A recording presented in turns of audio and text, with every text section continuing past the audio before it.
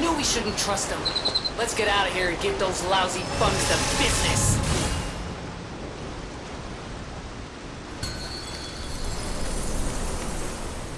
Bring it on. You ain't seen nothing like my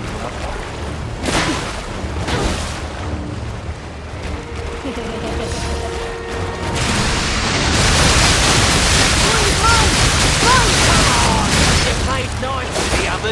Don't you want to play with me, Mr. Puppet?